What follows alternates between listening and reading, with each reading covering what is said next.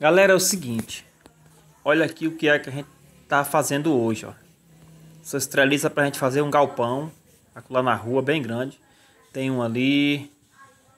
Tem outra pra lá. Viu? Vamos lá olhar ela. Tem muita treliça. Tem, são três grandes e uma mais pequena. Ó. Tamanho dessa daí, ó. É pra gente fazer um galpão lá na rua.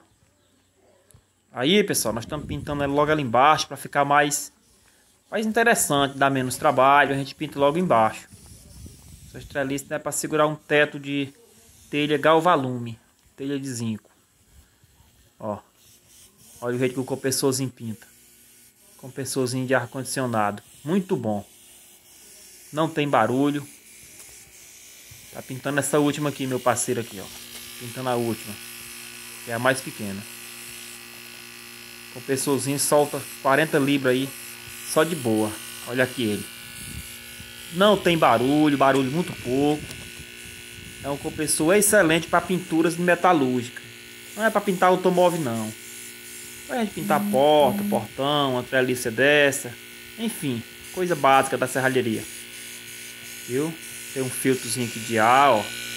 Para não entrar tinta lá pro compressor, não entrar terra, tem umas esponjas aqui dentro. E o ar entra por esse caninho aí. E sai por aqui. E aí eu filtro. Aí ressingando um pouco a água que o ar suga. E o ar tem água no ar, né? Entra por aqui e sai por aqui. Aqui a gente dá um jeito de enganar um pouco aí a água. Show de bola esse compressor. Muito bom. Tem um dois dele. Trabalho direto com eles pessoazinho. Esse filtro é muito importante, esse filtro. Eu tenho um vídeo como fazer esse filtro aí. Também. E a pintura fica assim, ó. Muito boa.